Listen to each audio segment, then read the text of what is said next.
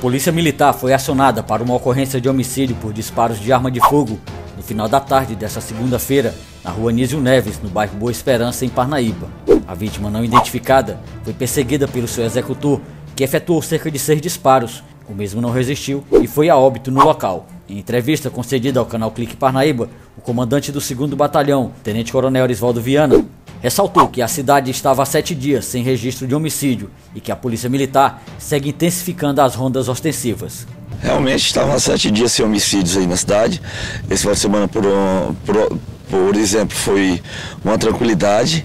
E, mas você está vendo aí, é, a polícia intensificando as rondas ostensivas, já temos algumas informações e vamos levantar a fim que a gente possa identificar os autores deste homicídio. E pode ter certeza, quem fez isso aqui vai ser preso hora ou outra vai ser preso porque a Polícia Militar já está levantando todas as informações aqui no local do crime.